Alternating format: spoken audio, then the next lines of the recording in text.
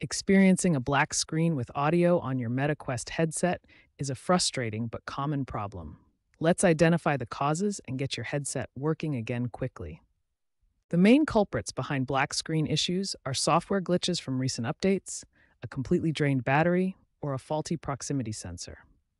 Let's tackle these systematically. Step 1 Check your battery. Ensure your headset is adequately charged using the original MetaQuest charger and cable. A completely dead battery is often the simplest explanation. Step 2 Perform a hard reboot. Press and hold both the power button and volume down button simultaneously for 10 to 30 seconds. Keep holding until you see the boot screen appear. Step 3 Clean the proximity sensor. This small sensor is located between the lenses inside your headset.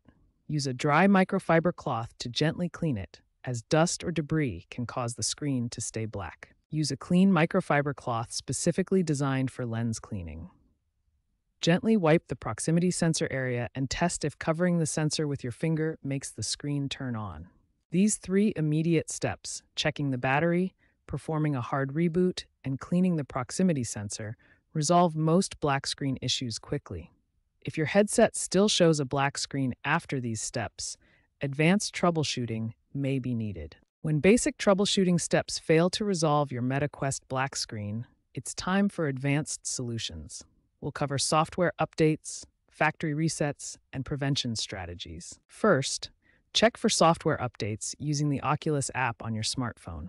Both your headset and the app itself need to be kept current to prevent compatibility issues. If software updates don't resolve the issue, a factory reset may be necessary.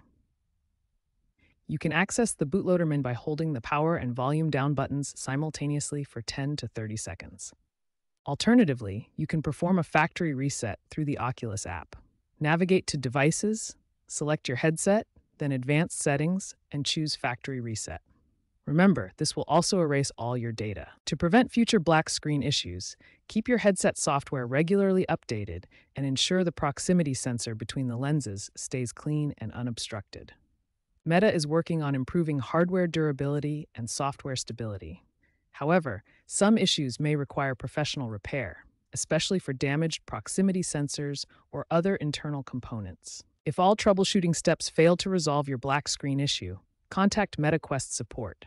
They offer multiple contact methods, including email, chat, WhatsApp, and callback options for personalized assistance. These advanced troubleshooting steps should resolve most persistent black screen issues. Remember to try software updates first then factory reset if needed, and always keep your headset properly maintained to prevent future problems.